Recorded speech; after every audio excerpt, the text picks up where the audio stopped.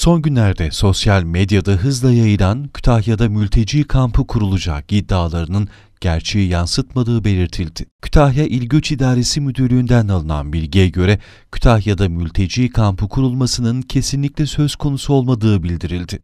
Kurulacak merkezin mülteci kampı olmadığı, aksine yabancıları geri gönderme merkezi olacağı belirtildi. Kütahya Eskişehir Karayolu yakınlarına kurulacak ve 400 kişi kapasiteli merkezde kamu düzenini bozan ya da yasa dışı yollarla Kütahya'da yaşayan yabancıların sınır dışı işlemlerinin tamamlanmasına kadar gözlem altında tutulacağı ifade edildi. Avrupa Birliği'nce finanse edilen ve yüksek güvenlikli olarak kurulacak merkez inşaatının 2020 yılında bitirilmesi planlanıyor.